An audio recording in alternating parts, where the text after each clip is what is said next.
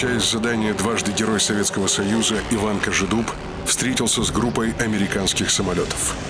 Бомбардировщики Б-29 и сопровождавшие их истребители «Мустанг» отбивались от атакующих мессершмиттов.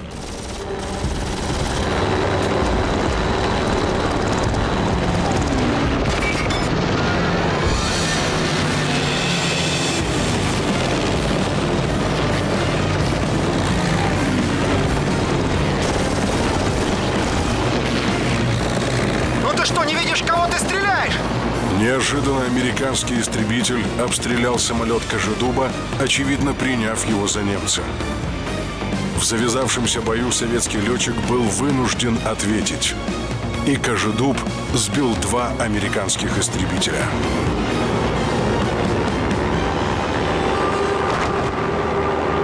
Ну все. Устроят мне по первое число. Попал.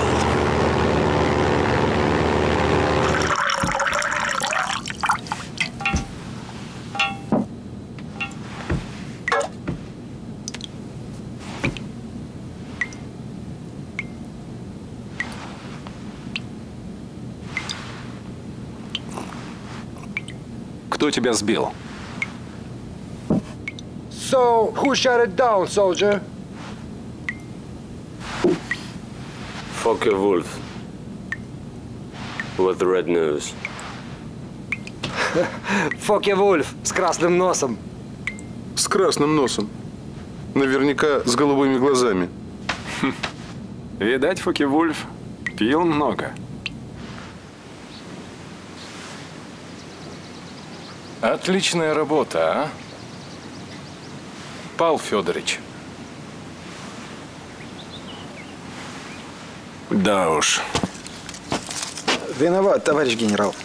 Так что, Фокер с красным носом? Товарищ полковник, так что я иду тихо, никого не трогаю. Сели на хвост. Показываю, свои же. Куда? Куда вы прете? Знаешь, Ваня,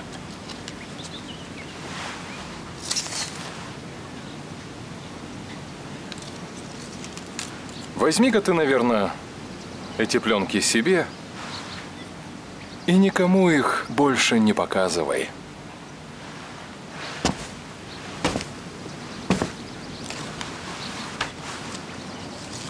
Спасибо, товарищ генерал. Вань, эти победы в счет будущей войны. Разрешите идти? Идите.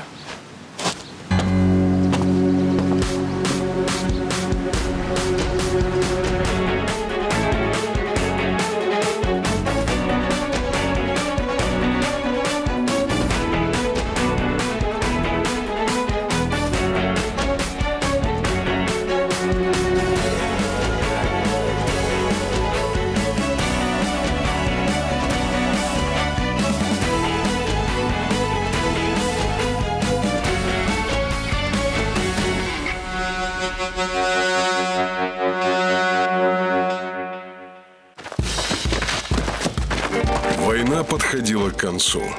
Красная армия вступила на территорию фашистской Германии. На Втором фронте союзники тоже двигались к немецкой столице. И далеко на востоке против союзницы Германии и Японии воевали американские и советские войска. В феврале 1945 года в Крыму, в Ялте встретились главы трех союзных держав. Премьер-министр Великобритании Черчилль, президент Соединенных Штатов Америки Рузвельт и председатель Совета народных комиссаров СССР Сталин. Восьмидневные переговоры в Крыму завершились подписанием общего коммюнике. В частности, в соглашении о Японии и Китае говорилось Руководители трех великих держав Советского Союза, Соединенных Штатов Америки и Великобритании согласились в том, что через 2-3 месяца после капитуляции Германии Советский Союз вступит в войну против Японии на стороне союзников при условии возвращения Советскому Союзу южной части острова Сахалин и всех прилегающих к ней островов. Между Сталиным и Рузвельтом произошел следующий диалог. Меня есть один вопрос, о котором я хотел бы переговорить с маршалом Сталиным. Это вопрос о Корее. В Тегеране я говорил об учреждении опеки над Кореей. Встает вопрос, кто должен быть попечителем. Я думаю пригласить в качестве попечителей Китай, Советский Союз и Америку. Не будет ли это протекторатом? Ни в коем случае. Попечители помогут корейцам управлять своей собственной страной, пока они не будут готовы к самоуправлению. Не придется ли вводить в Корею войска? Нет. Против осуществления предложения, сделанного президентом, у меня нет возражений. Чем короче будет срок попечительства, тем лучше. Но уже в июле 1945 года на Потсдамской конференции новый президент США Гарри Труман занял по отношению к СССР более жесткую позицию. Стремление Советского Союза отгородиться от капиталистического мира буфером государств с коммунистическим режимом настораживало Запад. И США, и Великобритания воспринимали распространение коммунизма как опасность номер один – чтобы упрочить свою позицию на переговорах, Труман сообщил Сталину только что полученную от военных информацию. У США есть оружие необыкновенной разрушительной силы. Могло показаться, что в руках союзников появилось новейшее оружие для борьбы с оставшимися противниками в войне, но Сталин понял, что эта бомба нацелена на Советский Союз.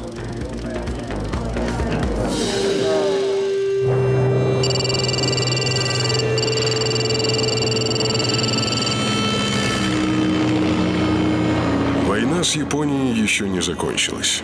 С военно-воздушной базы США взлетали на патрулирование самолеты. Прибытие новой группы бомбардировщиков выглядело обыденно. Необычным было то, что район их базирования находился в нескольких милях от других подразделений и тщательно охранялся.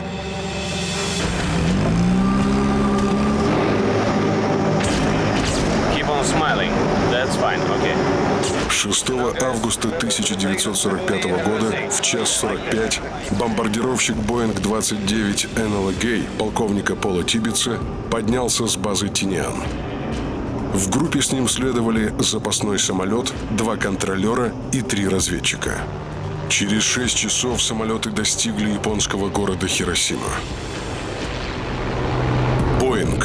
Пролетая над центром города, в 8.15 сбросил свой груз. Через 45 секунд на высоте 600 метров произошел взрыв атомной бомбы «Малыш», эквивалентный 13 тысячам тонн тротила.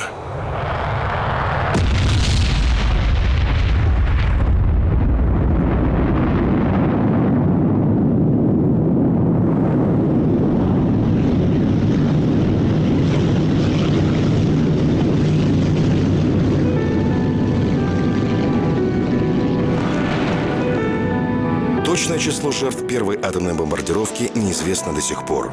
В первые минуты после взрыва в Хиросиме погибли более 80 тысяч человек. К концу года общее количество умерших от ожогов, ранений и лучевой болезни составило около 166 тысяч человек. Спустя три дня майор Чарльз Суини сбросил плутониевую бомбу «Толстяк» на город Нагасаки. Она уничтожила около 70 тысяч человек. Мир шагнул в эпоху ядерного оружия. Цивилизация стояла на пороге нового противостояния – борьбы современных технологий. Отставание в этом соперничестве означало неминуемый крах, а любая ошибка – катастрофу. Но договоренности, достигнутые союзниками в Ялте и Потсдаме, были СССР выполнены. В августе 1945 года в Маньчжурии Красная Армия в результате молниеносной войны за 10 дней разгромила квантунскую группировку японской армии. Американцы выступили с новым предложением. Соединенные Штаты не вмешиваются в действия Советского Союза в Маньчжурии. СССР получает Курильские острова, но не высаживается, как планировалось, на остров Хоккайдо. Территория японских островов остается в сфере влияния США. Капитулировавшая Япония утратила свое господство и в Корее. По договору между союзниками по антигитлеровской коалиции страна разделялась на две части демаркационной линии по 38-й параллели. Сталин этот проект одобрил. Север оставался в советской зоне ответственности, а юг – американской. 38-я параллель до сих пор является границей между Северной и Южной Кореей. В 1945 году на севере страны проживало чуть больше 10 миллионов жителей, на юге – около 20 миллионов. В южной части Кореи в мае 1948 было сформировано правительство Республики Корея. В северной части в сентябре провозглашена Корейская Народно-Демократическая Республика. После окончания войны 18 августа 45-го летчик Иван Кожедуб за высокое воинское мастерство и личное мужество был удостоен третьей медали «Золотая звезда». Кожедуб Иван Никитович. Трижды Герой Советского Союза. На фронт попал лишь весной 1943 года, начинал воевать на истребителе Ла-5. За годы войны, совершив 330 боевых вылетов, ни разу не был сбит. Уничтожил 62 немецких самолета, став лучшим асом антигитлеровской коалиции. За время войны летчики 176-го гвардейского истребительного авиационного Проскуровского полка совершили 9450 вылетов. Воздушные охотники провели 750 боев. Сбили 389 самолетов противника. Но праздничная эйфория рассеялась. Все чаще звучал вопрос, что дальше. Было очевидно, вооруженные силы сократят. Многие хотели уволиться из армии, поступить в институт, но значительная часть не мыслила своей жизни без авиации. Летчики понимали, приобретенный в боях с Люфтваффе опыт еще может пригодиться. Окончание Второй мировой войны, несмотря на подписанные соглашения, не стабилизировало отношения между бывшими союзниками по антигитлеровской коалиции. В оккупационной зоне СССР быстрыми темпами шло создание просоветских режимов. В Польше коммунисты взяли власть в свои руки еще в июле 1944 -го. В Югославии и Албании в 1945 К 1949 году к ним присоединились Болгария, Румыния, Чехословакия, Венгрия и Северная Корея. 1 октября 1949 года в Пекине была провозглашена Китайская Народная Республика, а 7 в советской зоне оккупации Германская Демократическая Республика. Распространение коммунистических идей категорически не устраивало Запад. В то же время военное превосходство оставалось за США, имевшими в своем арсенале ядерное оружие. Между бывшими союзниками нарастало напряжение. 5 марта 1946 года Уинстон Черчилль в Фултоне произнес знаменитую речь. В противовес советскому железному занавесу в Европе Черчилль призвал создать англосаксонский военный союз. День 5 марта 1946 стал датой начала Холодной войны, растянувшейся на 50 лет. Советский Союз оказался втянутым в гонку вооружений. Требовалось как можно быстрее создать собственную атомную бомбу и средства ее доставки в любую точку мира. Второй задачей стало формирование эффективной противовоздушной обороны, способной своевременно устранять угрозу безопасности страны. Американской техникой вооружили два советских полка – но нести атомную бомбу эти самолеты не могли. Единственным носителем ядерного оружия оставался американский Боинг-29. Боинг-29, Б-29, Superfortress, Суперкрепость. Американский стратегический бомбардировщик – Имел рекордную для своего времени грузоподъемность – 9 тонн. Максимальная скорость – 586 км в час. Максимальная дальность полета – 6760 километров. Именно Б-29 сбросил ядерные бомбы на японские города Хиросима и Нагасаки. Через две недели после окончания войны Месищев, главный конструктор завода в Казани, предложил скопировать Б-29 своими силами. Сталину предложение понравилось. Советский Союз делал попытки заполучить Б-29 официально, но американская сторона неизменно вежливо отказывала. Неужели вы его нашли? Да, выглядит впечатляюще. Мы его даже топливом заправили, но летать еще не пробовали. Интересно, взлетит? Ждем времени подходящего. Обязательно взлетит. Куда он денется? Все же машины этого типа нашли. На аэродромах Дальнего Востока несколько подбитых японцами самолетов совершили вынужденную посадку. Товарищ Туполев, вы хорошо знаете американский самолет Б-29? Да, товарищ Сталин, очень хорошая машина. Так вот, Андрей Николаевич, нам нужен самолет с такими же характеристиками. И мы хотим поручить это сделать вам. Беретесь? Да, он в хорошем состоянии. Советская промышленность, четыре года работавшая на войну, находилась в тяжелейшем состоянии.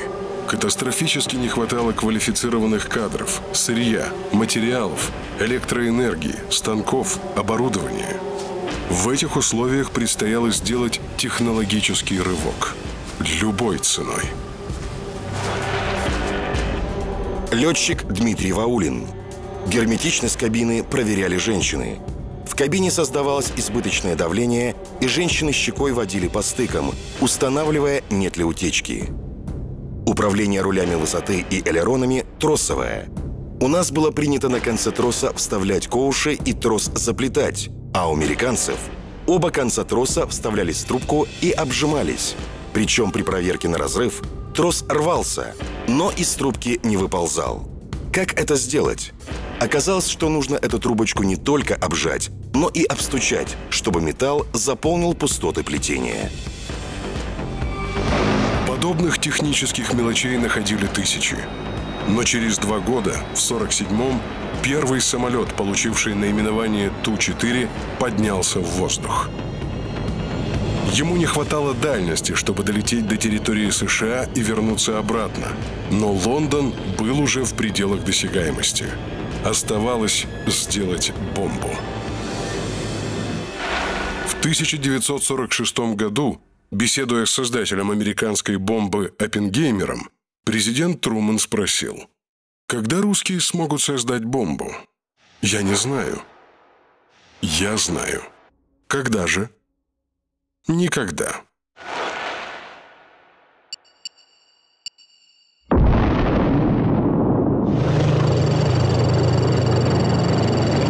Самолет специальной метеорологической разведывательной службы США в районе Камчатки взял пробы воздуха. Анализы показали наличие в них изотопов. Это означало, что в СССР был произведен ядерный взрыв. Действительно, 29 августа 1949 года на полигоне в Семипалатинской области Казахстана состоялось испытание первой советской атомной бомбы. Получив подтверждение этой информации, президент США Трумэн заявил журналистам. Мы располагаем данными о том, что в течение последних недель в Советском Союзе произошел атомный взрыв – с тех пор, как атомная энергия была высвобождена человеком, следовало ожидать соответствующего развития этой новой силы другими нациями.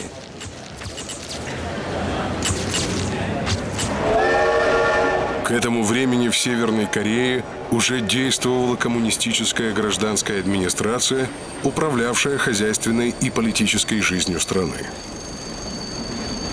Страну возвращались и советские корейцы, и жившие в эмиграции корейские коммунисты. Из Владивостока на пароходе «Пугачев» прибыл в Корею и капитан советской армии Ким Ир Сен. Он получил назначение в Пхеньян на должность помощника коменданта города. Ким Ир Сен. Настоящее имя Ким Сон Джу. Участник партизанского движения в Маньчжурии. В 1940 году с остатками отряда прорвался на территорию СССР. Служил в Красной армии. В 1945 году при содействии советского руководства возглавил Временный народный комитет Северной Кореи. Генеральный секретарь ЦК Трудовой партии Кореи и вплоть до своей смерти президент Корейской Народно-Демократической Республики. При жизни официально именовался «Великий вождь, солнце нации, маршал могучей республики». Вторым президентом Северной Кореи стал его сын Ким Чен Ир. Оккупировавшие Южную Корею американцы прежде всего разогнали созданное левыми националистами правительство. Генерал Дуглас МакАртур предложил на роль руководителя страны гражданина США Ли Сэн Мана. Ли Сын Ман в 1897 году за выступление против правительства был арестован. В 1904 эмигрировал в США. Требовал передачи Кореи под опеку США. В годы Второй мировой войны выступал против сотрудничества США с Советским Союзом. Был провозглашен президентом Корейской Республики заочно. США занимался сбором денег в пользу оккупированной Кореи, но был обвинен в их растрате. В 1948 году избран президентом Республики Корея, ярый антикоммунист. В апреле 1960-го очередная сфальсифицированная им победа на выборах вызвала массовые беспорядки. Эмигрировал на Гавайи, где и скончался. Ли Сэн Ман раньше своих американских хозяев озвучил идею создания на территории Кореи сепаратного государства.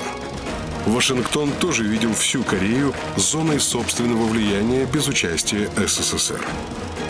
Однако в оккупационной американской части возрастало сопротивление, расширялось партизанское движение. Ким Джун Су, житель корейской деревни в окрестностях горы Тхэбэксан. Днем мы жили в демократической и антикоммунистической республике Корея, а ночью — в коммунистическом государстве, так как власть партизан по ночам была не меньшей, чем власть полиции днем. 10 мая на юге под наблюдением комиссии ООН состоялись первые в истории Кореи всеобщие выборы. Результаты их более чем сомнительны. В течение шести недель перед выборами 589 человек было убито и 10 тысяч арестовано. Но Ли Сэн Мана провозгласили президентом. Формировались новые структуры власти и на севере. К февралю была создана Народная армия. 8 сентября принята Конституция страны. Столицей объявлялся Сеул, город, находящийся на территории Южной Кореи. 38-ю параллель, как границу двух стран, не признавали ни Ли Сэн Ман, ни Ким Ир Сен. Столкновения на границе учащались, и дело явно шло к войне. Появление в СССР атомной бомбы и самолета, способного доставить ее к цели, упрочили положение советского государства. Одновременно создавалась и система противовоздушной обороны СССР. Лучшие истребительные части привлекались для защиты неба страны. Еще в августе 45-го 176-й истребительный полк, в котором воевал Иван Кожедуб, перебазировался на подмосковный аэродром «Теплый стан». В мае следующего года полк вошел в состав 324-й истребительной авиационной дивизии ВВС Московского военного округа. И затем в течение пяти лет летчики полка участвовали во всех воздушных парадах, проводимых в столице. А Иван Кожедуб сразу после войны поступил в военно-воздушную академию. Герой был на расхват. Его приглашали на встречи, юбилеи, многочисленные вечера. Будучи добрейшим человеком, он отказать не мог. И тем не менее, Кожедуб, благодаря поддержке жены Вероники Николаевны, с честью прошел и это испытание. И академию успешно закончил. В 1947 году 176-й полк получил новый истребитель Ла-9 хотя к этому времени уже полным ходом шла работа над созданием нового истребителя. Истребителя реактивного.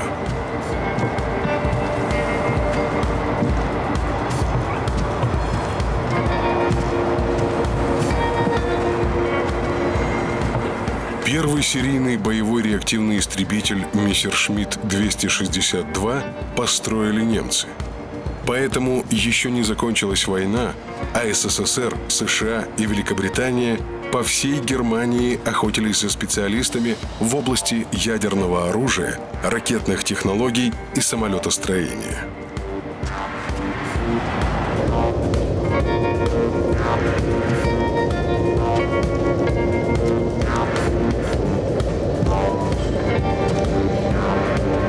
В ночь на 22 октября 1946 года более двух тысяч специалистов в области самолетостроения отправились на восток.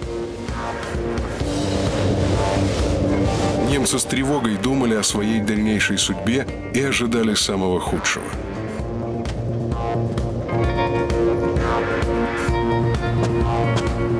Но прибывших в подберезье конструкторов поразила тщательность, с которой была воссоздана обстановка их офисов и мастерских. Даже пепельницы и календари, доставленные из Германии, заняли свои места.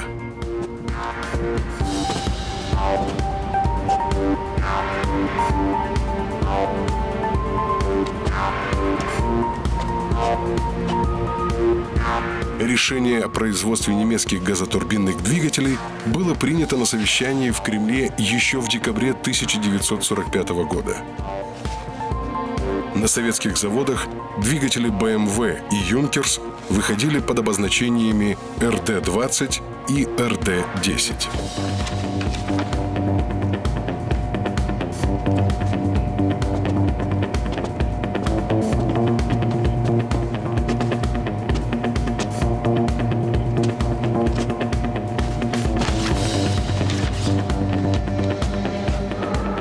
Конце марта 46 года под Москвой разыгрался снежный буран. В поселке Жуковский замело все дороги. Грузовики, идущие в летно-исследовательский институт, буквально ползли по трассе. В кузовах они везли части нового истребителя конструкторского бюро Микояна и Гуревича. Новую машину тщательно собрали. Ребята, кати стременку. Вместе со специалистами института ее изучал и летчик-испытатель Алексей Гринчик.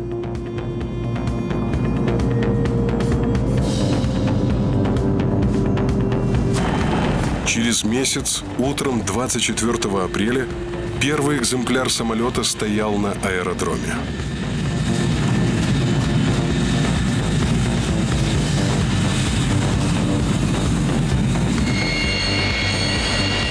Первый. Я Сокол. Разрешите взлет? Сокол, взлет разрешаю. 11 часов 12 минут. Взревел двигатель. И Алексей Гринчик поднял в небо первый отечественный реактивный истребитель И-300, будущий МиГ-9 с двумя двигателями БМВ. В этот же день, двумя часами позже, летчик-испытатель Иванов взлетел на истребителе КБ Яковлева Як-15 с двигателем «Юнкерс». Спустя год после окончания Великой Отечественной войны советская истребительная авиация вступала в реактивную эру.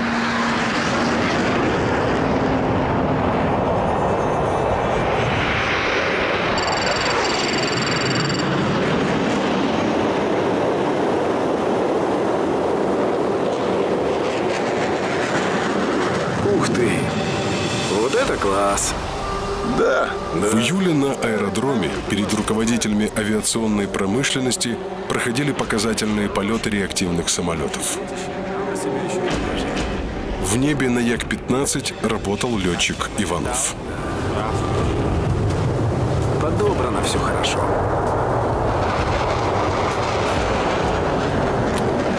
На Микояновской машине я не хуже делаю. Что? Нельзя так рисковать. Эта машина на таких режимах еще не испытывалась. Наступила очередь Гринчика.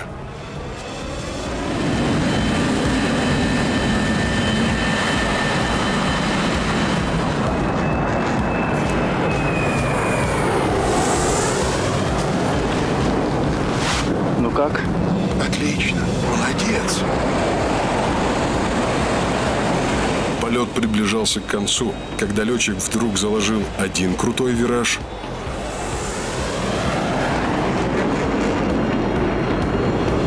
Что он делает? другой.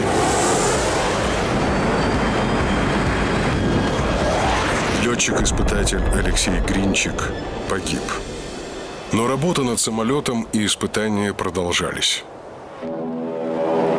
Уже в августе на празднике, посвященном Дню воздушного флота, над трибунами Тушинского аэродрома на высоте 400 метров промчался реактивный истребитель. Летчик-испытатель Шиянов впервые продемонстрировал публике самолет МиГ-9. В 1946 году приступили к серийному производству самолета. Но в войсках его не любили из-за частых отказов двигателей и отсутствия катапульты. В США освоение реактивной техники также шло с трудом. Принятый на вооружение в 1947 году F-84 Thunderjet два года не мог считаться полностью готовым. Сказывались проблемы с конструкцией и двигателями. Летные испытания прошли формально, что при эксплуатации стало причиной многочисленных аварий. А у технического персонала самолеты Thunderjet получили прозвище «Кошмар механиков». Инженеры бережно распаковывали ящики с эмблемой английской фирмы Rolls-Royce.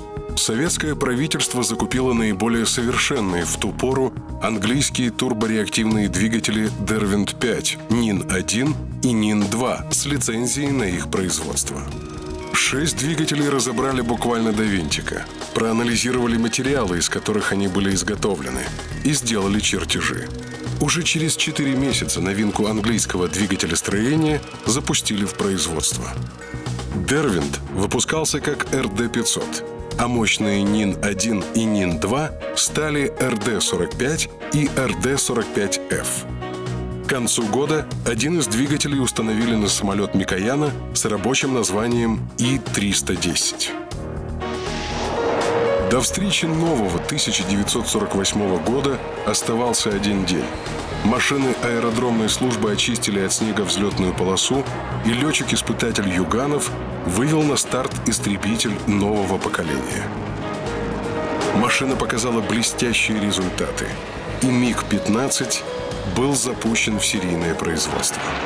Герой Советского Союза, летчик 176-го гвардейского полка Сергей Крамаренко. Первый вылет на МиГ-15 произвел на меня неизгладимое впечатление.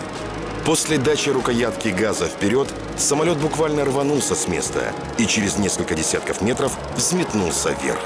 Летом 1950 года МиГ-15 начал осваивать подполковник Кожедуб. Трижды герой стал заместителем командира 324-й истребительной авиадивизии. А в октябре Ивану Кожедубу было присвоено звание «Военный летчик первого класса». МиГ-15 стал самым массовым реактивным самолетом в истории мировой авиации. Состоял на вооружении 40 стран. В войсках НАТО получил кодовое имя «Фагот». Всего изготовлено 15 560 этих машин. Последний МиГ-15 снят с вооружения ВВС Албании в 2005 году. Удивительно, но самолет, разработанный в 40-е годы, прослужил более 60 лет. В Москву приехал вождь корейского народа Ким Ир Сен. На встрече со Сталиным он обсуждал вопросы экономического сотрудничества и открытия кредита. Но главным стал вопрос силового объединения полуострова.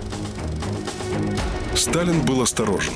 Я не могу сказать, что Север имеет абсолютный перевес над Югом, поэтому наступление на Юг невозможно. Позже Политбюро ЦК КПСС оценило план нанесения удара и освобождения Юга как нецелесообразный, чреватый долгой войной и иностранной интервенцией. В директиве послу СССР в Корее Терентию Штыкову отмечалось, что наступление не подготовлено ни с военной, ни с политической стороны, а частная операция будет, безусловно, рассмотрена как начало войны. Но события следующих недель, произошедшие на Дальнем Востоке, изменили расстановку сил. Гражданская война в Китае закончилась. 1 октября в Пекине была провозглашена Китайская Народная Республика. К власти пришла Компартия Китая во главе с Мао Цзэдуном. Правительство Чан Кайши под прикрытием войск США бежало на остров Тайвань. Вскоре лидер китайских коммунистов Мао Цзэдун прибыл в Москву. У СССР появился союзник на Дальнем Востоке. Правда, этому союзнику пока не хватало военной мощи.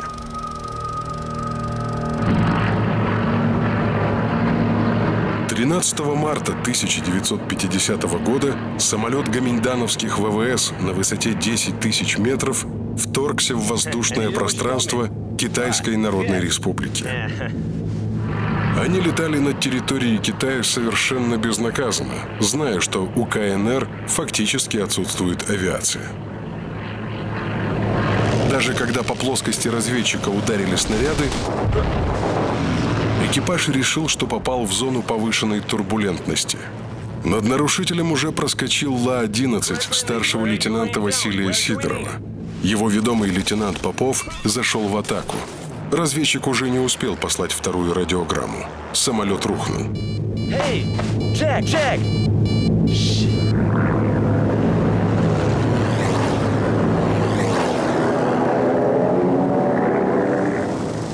Своих военно-воздушных сил у Китайской республики не было.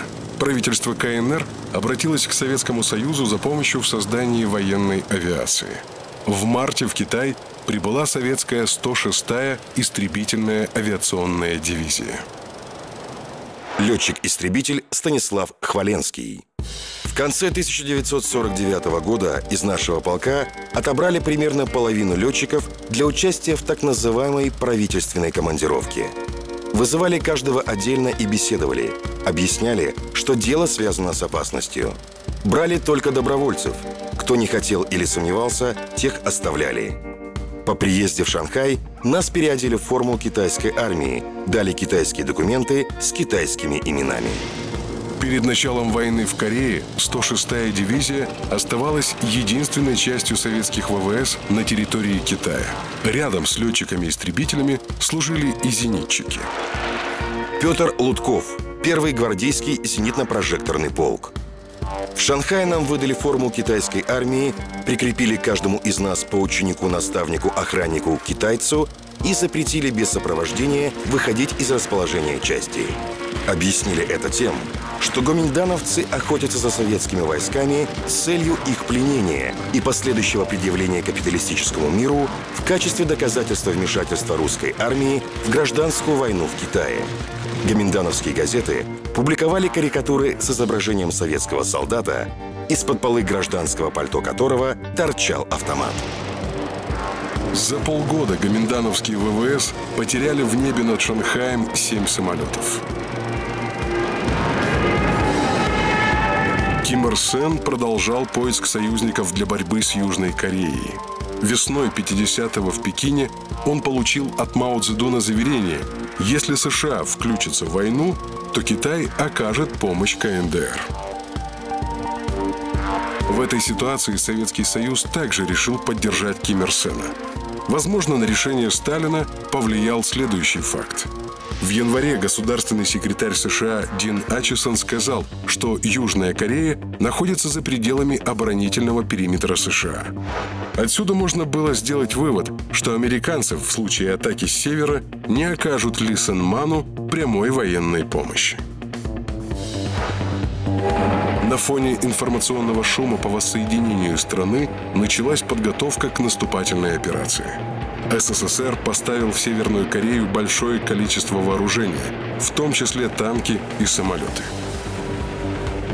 В страну в качестве советников и консультантов прибывали офицеры. Главным военным советником в Корейской народной армии был назначен генерал-лейтенант Васильев. Васильев Николай Алексеевич, герой Советского Союза. В годы Великой Отечественной войны командовал дивизией на Сталинградском, Донском и Воронежском фронтах, затем стрелковыми корпусами.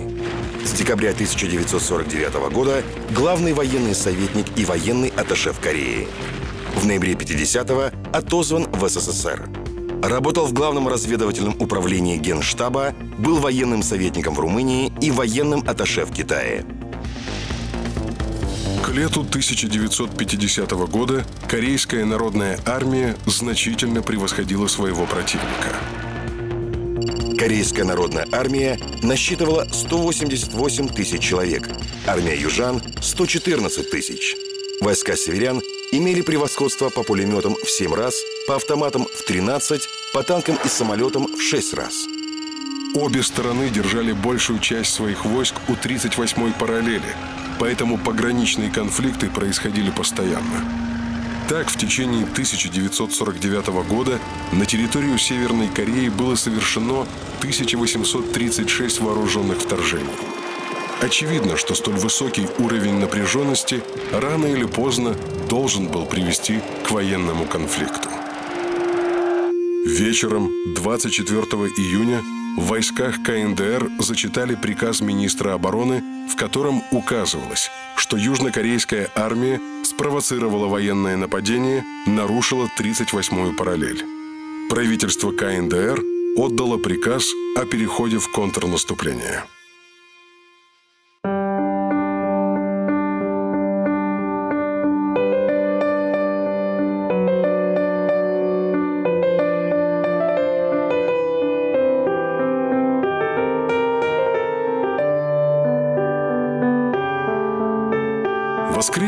Утро 25 июня 1950 года. Для летчиков 176-го истребительного полка день был выходным. Жизнь в части шла по установленному распорядку. Зарядка, завтрак, полеты, отдых, занятия. Мирная жизнь налаживалась. Пилоты даже покупали машины в складчину –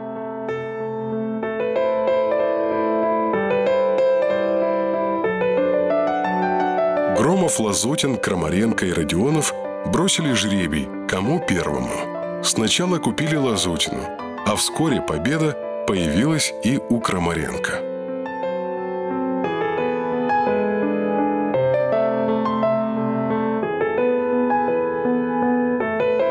Но в обед радиоточки на столбах центральных улиц вдруг заговорили, как тогда, в 1941 -м.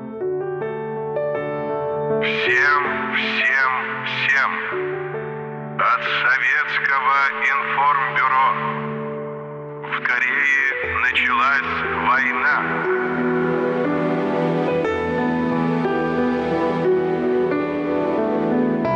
Было очевидно, СССР не оставит без поддержки коммунистический строй Ким Ир Сена.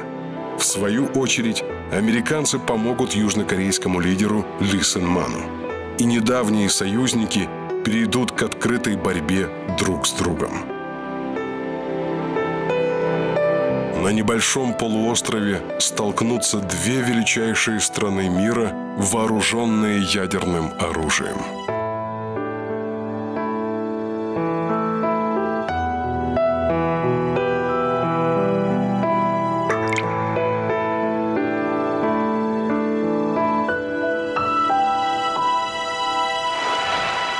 Американский пилот Б-29 Вейланд Майо. Идея вступления России в войну против нас рассматривалась как вполне реальная угроза. Наши экипажи прошли обучение и были готовы летать над Россией с ядерными бомбами. Каждому был назначен город или район, определены маршруты полета с описанием возможного противодействия зенитной артиллерии и истребительной авиации. В случае войны мы знали, куда и как лететь. Единственная проблема – все понимали, что билет был в один конец. Но никто не жаловался. У меня не было сомнений. Если бы приказали, я сбросил бы бомбу и на Нью-Йорк. Наступление Корейской народной армии началось сразу на нескольких направлениях. Главная группа войск при поддержке танков двинулась на Сеул.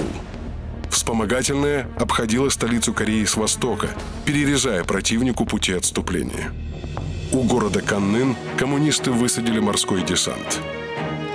В первый же день боев северокорейские пограничники при поддержке самоходных артиллерийских установок Су-76 захватили единственную артиллерийскую часть Республики Корея. Глубокой ночью Лисон Ман позвонил МакАртуру, командующему оккупационными войсками в Японии. «Генерал отдыхает, я не буду его будить. Находящиеся в Корее американские граждане будут по одному погибать, а генералу желаю приятных сновидений». Дуглас МакАртур, генерал армии США, фельдмаршал Филиппин, ярый антикоммунист. От имени США на борту линкора «Миссури» принял капитуляцию Японии. С 1950 года командующий силами ООН в Корейской войне. Требовал применения против Кореи и Китая ядерного оружия. Публично не соглашался с политическими решениями президента Трумана.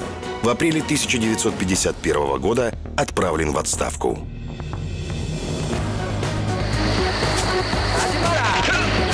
Западнее Сеула войскам Корейской народной армии удалось прорваться к реке Ханган, местами достигавшей 6 километров в ширину.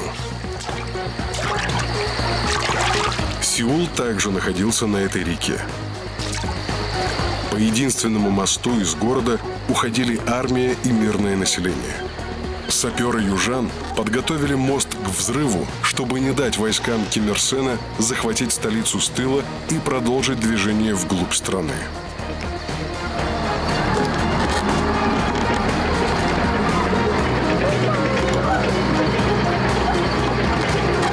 Ночью командиру саперной команды показалось, что на другом берегу появились Т-34. Взрывайте мост. Там же люди. Танки уже у моста. Через пять минут они всех передавят. Там же люди. В результате взрыва погибло множество солдат и мирного населения, а на северном берегу реки осталась брошенной половина личного состава армии Кореи. Танки же ворвались в город лишь утром, а северокорейская пехота, совершив обход, перерезала главную магистраль, ведущую на юг. Командир 105-й танковой бригады доложил о взятии Сеула. В этот же день в небе Кореи появились самолеты ВВС США. С авиабазы в Японии вылетела группа истребителей «Твин Мустанг». В бою с Як-9 северокорейских ВВС они сбили три самолета, потеряв один.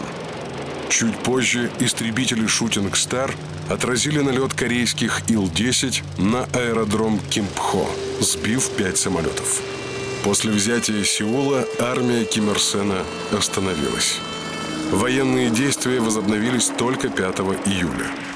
Пхеньяне ждали, что на юге начнется всеобщее восстание, с расчетом на которое и планировалась кампания.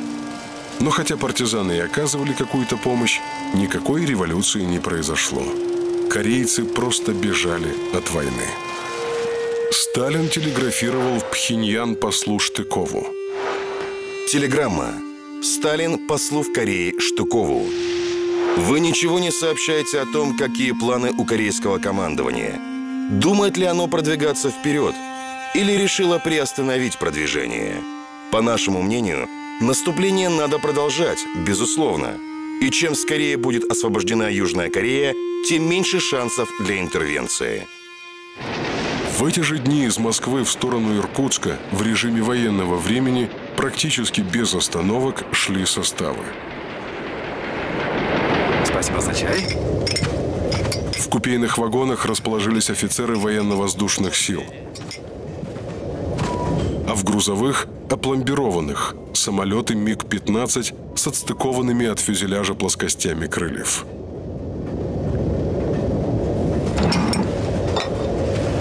Чаек, парни. Пятая гвардейская истребительная дивизия, усиленная гвардейским авиаполком, в эшелонах пересекла советско-китайскую границу. В вагонах всех военнослужащих, от солдат до офицеров, переодели в китайскую военную форму.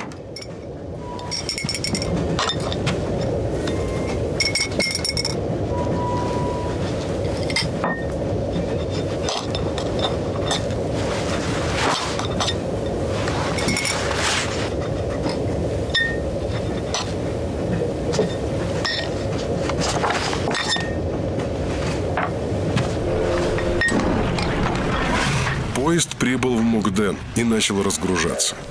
На аэродромах техники собирали самолеты. Эх, приехали. О. Давай чемоданы.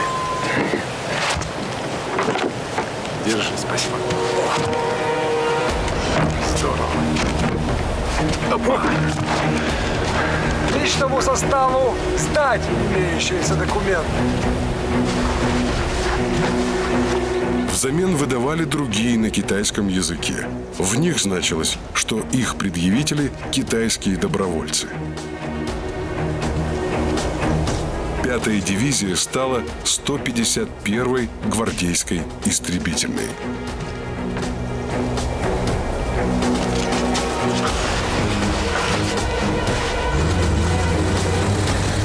Ее полки рассредоточились на военно-воздушных базах северо-восточного Китая в Мукдене, Аньшане, Ляояне.